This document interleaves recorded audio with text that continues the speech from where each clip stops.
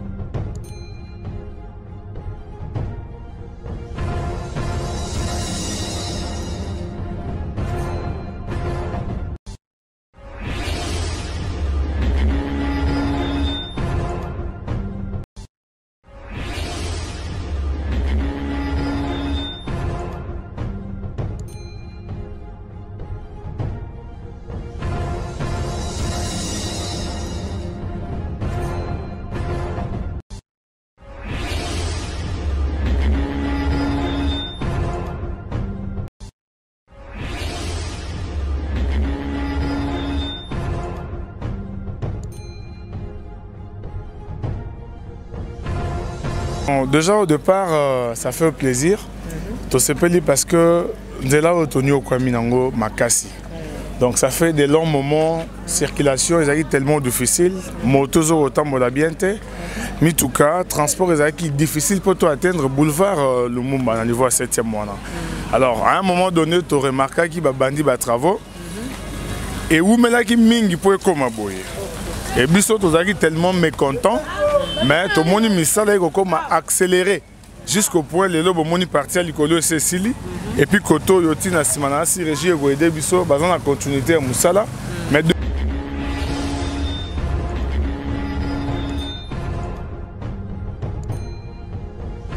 kinshasa bana poto bana kini bana mokili bomba agence fret service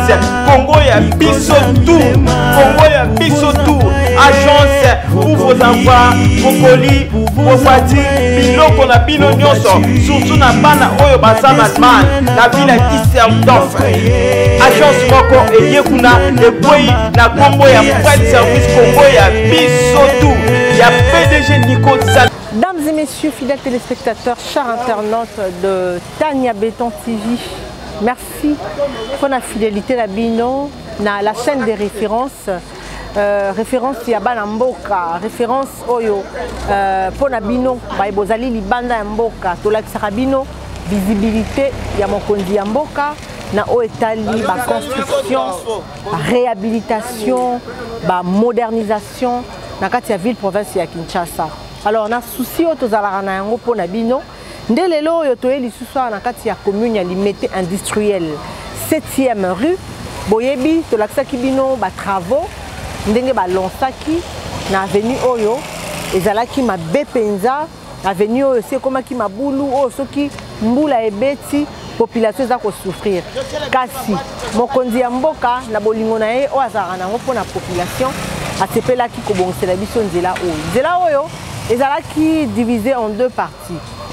d'abord eza nzela oyo eza komesurer plus ou moins 1 kilomètre donc eza dans le 900 et quelques mètres nde yango ezosala biso euh, plus ou moins euh, à peu près un kilomètre alors basali batravaux ya modernisation mpe ya réhabilitation parce que eza nzela oyo ezalaki macadamise mais esali bambula ebele ebele ebele ebele ebele mpenza boyebi ezali euh, parti moko baentreprise eza ebele bana ba, ba, ba, euh, ba, comment ce qu'on dit ba habitation pe eza ebele alors euh, ba école pe eza ebele d'ailleurs il y a une école cartésien hein eza école oyo eyebani bato nyonso tu bayebi yango kasi accès ezalaki vraiment difficile surtout mpona ba écolier écolière kowuta koya classe mpe kowuta classe kozonga na bandako na bango nde euh, moderne construction azwaki en main batravaux ya misala na biso basali première partie basali première partie kobanda na boulevard hein, juste na, na boulevard lumumba ti na avenue bobozo basalaki asphalte basali bakanilo basali asphalte alors oyo ezali deuxième partie kolbanda bobozo ti kokende na rai na nsima na biso ezali uh, rai esika oyo wapi uh, babongisaka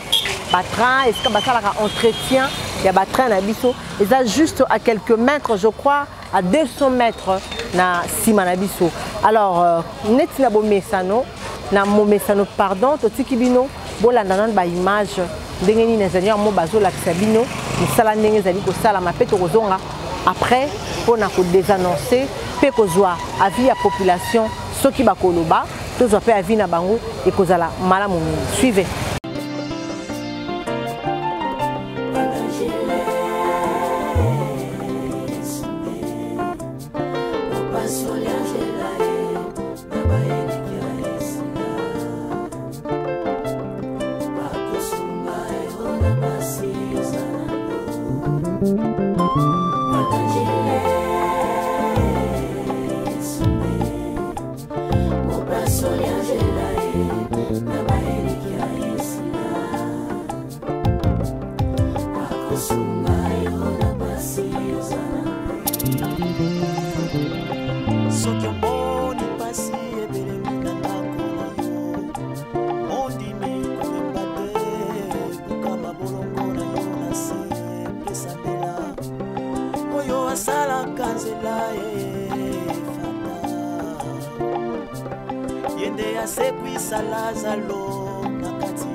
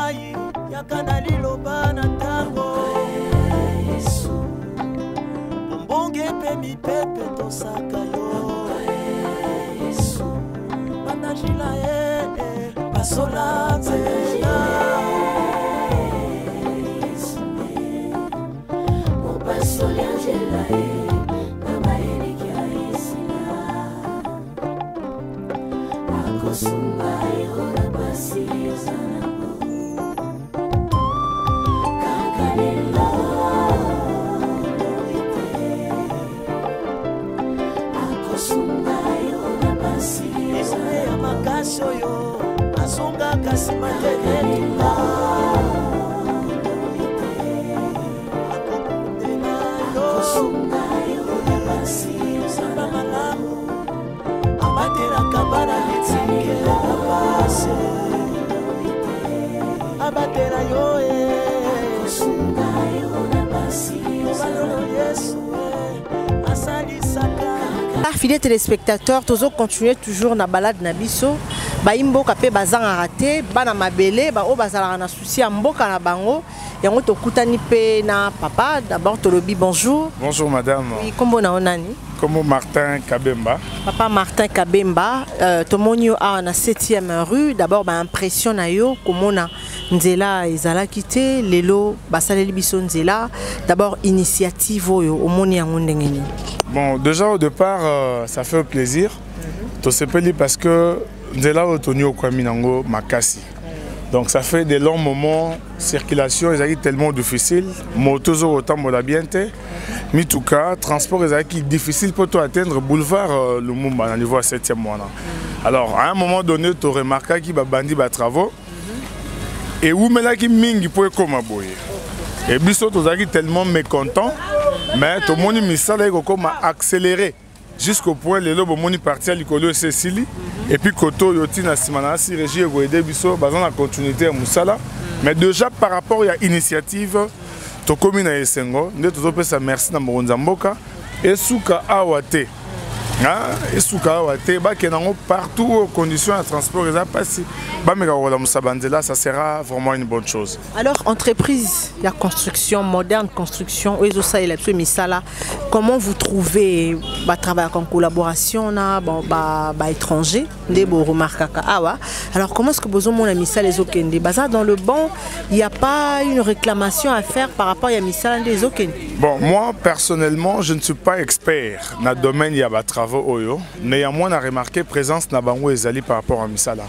mais ba doléance tozwi ya biso ba habitant balobi aveni nde ekondi donc c'est à dire baasphalte na bango mais to perdre ba parking to perdre ba biloko mosusu par rapport ya ndenge ezalaki avant donc moni ke aveni on dirait ekondi nde donc euh, présence na voilà j'espère que bolandi ndenge nini euh, bana mboka mwana ya mabele alobi vous savez mutu nyonso tu uh, ayebaka makambo nyonso tu te alors nde bomonaka nzela eza boye nzela esengaka toujours surtout chaussée esengaka toujours ezala na 7 mètre alors bakomi na limete oyo na ba, ba, ba 7e rue na barue ezalaka neti awa na 7e toza eza d'abord eza monene te eza mokie avant nzela ezalaki ya kotongama te nzela ezalaki mabe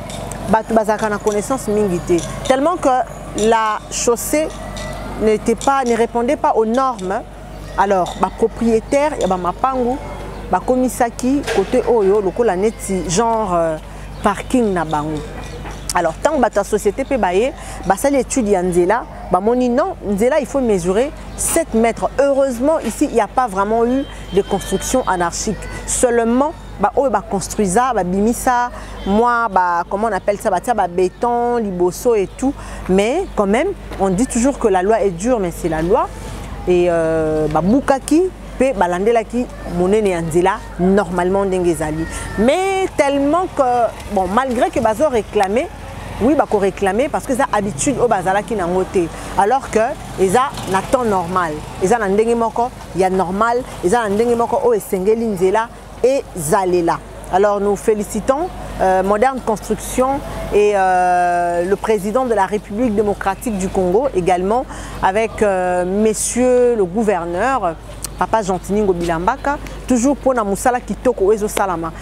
na kati ya mboka na biso ya malamu soki ezali tokoaplaudire ya mabe soki ezali mpe tokolobela alors bayi mboka balingi nzela oyo esukaka awa te ekende ekota na gauche na nga na ndenge ya nsima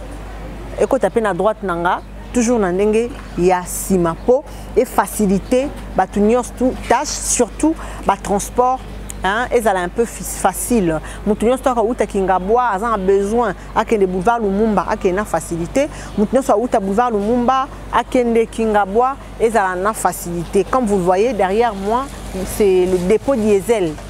eza lié na entreprise ya onatra esika oyo api batrain eyaka se ravitailler awa bayaka koravitailler batrain awa kosala entretien ya batrain et tout malgré que esi ekufa eza ya kobeba Il y a trop à dire là-dessus, puisque tu es l'idée de Maramou Yanzela, moi et le Bilamakambouana, et Zati. On est au sein à la Bakondi Yamboka, tous en a bijoux, tous en a Maramou Yamalam, oye kufa ezo senga kaka balamusa ezo senga kaka ba réhabilité nde loko to senga epa mokonzi ya mboka na biso banzela ya train ezali esalama me misusu batonga bandako likolo misusu ebebabeba nyoso ezo faire partir na mboka na biso kaka na makambo eza na mboka na biso alors vous devez faire un effort ya kobongisa oyo esengeli babongisa ezosenga bosala entretien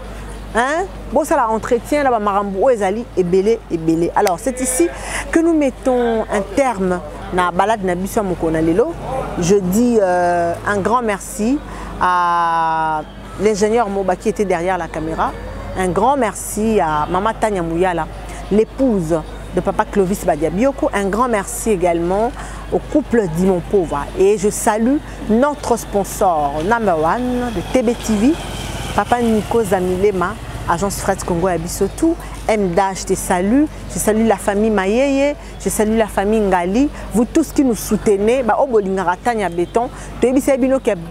Posa na biso ezali ya kosuka awa te, ya kokende na ba province kotalisa bino notre beau pays, kolakisa bino pe misala ndenge eza ko évoluer, mais parfois ce sont le moyen qui manque. Soutenez-nous spirituellement, financièrement et Dieu euh, akotika te kosunga pe bino na oyo bokosala pona mboka na biso. Alors d'ici là, restez entre la paix du Seigneur. On se retrouve